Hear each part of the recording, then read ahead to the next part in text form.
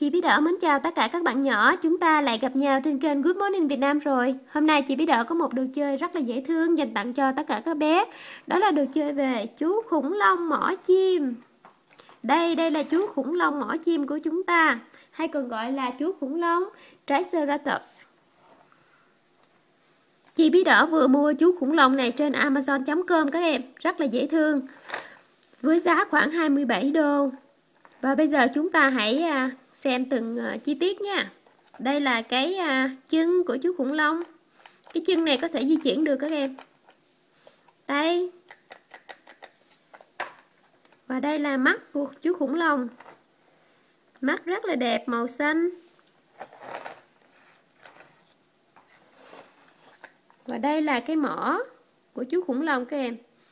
Chú khủng long này có cái mỏ hình giống mỏ chim và ở bên trong đây là cái lưỡi các em, cái lưỡi rất là dài. Và ở trên đầu của chú khủng long này, chúng ta sẽ thấy những cái gai. Và những cái gai này có thể phát sáng được các em. Khi mà chúng ta bật pin lên thì nó sẽ phát sáng. Và mỏ của à, chú khủng long này, khi mà chúng ta che đi cái phần đầu, thì nhìn rất là giống mỏ của một chú chim vẹt các em. Các em hãy nhìn đây. Giống như mỏ của một chú chim vẹt, đúng không các em? Và tiếp theo đây là cái đuôi cái đuôi của chú khủng long. Rất là dài các em à, và dưới à, phần bụng thì chúng ta sẽ để pin vào. Chị biết đỏ đã để à, ba cục pin vào rồi. Và bây giờ chúng ta hãy cho chú khủng long này à, đi nha. Chúng ta sẽ bật pin lên.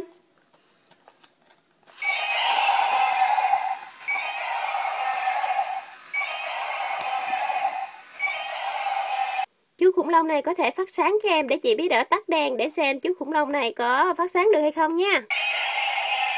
Chú khủng long này phát sáng được các em. Đây là lưỡi của chú khủng long màu đỏ. Và đây là sừng của chú khủng long cũng màu đỏ luôn các em.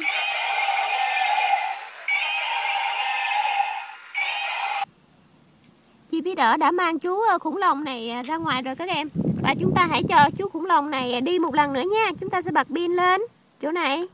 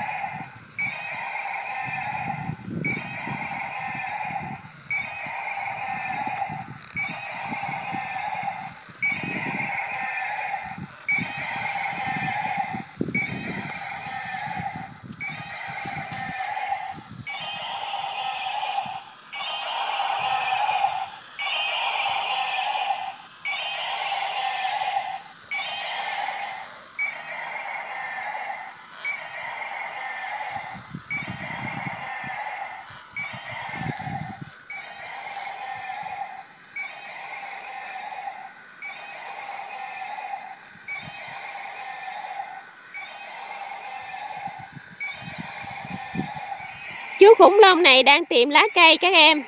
Để xem chú có ăn được hay không nha. Ồ, không, chú không ăn lá cây mà chú tiến thẳng vào bụi cây luôn. Vào bụi cây làm gì đó, khủng long ơi. Oh no oh không. Khủng long bị kẹt cái đầu vào bụi cây rồi các em. Chúng ta hãy giúp khủng long nào. Khủng long ơi, ra đây.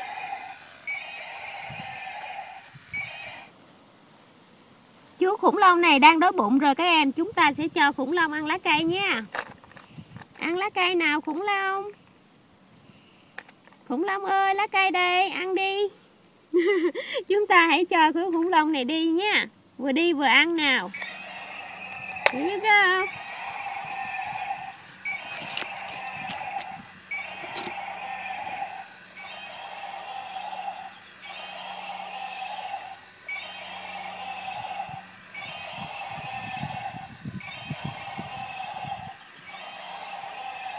Video của chị Bí đỡ đến đây là hết rồi. Chị Bí đỡ mến chúc các em có một ngày mới thật là vui nhé. Và nhiều video về đồ chơi khủng long ngay trên kênh Good Morning Việt Nam.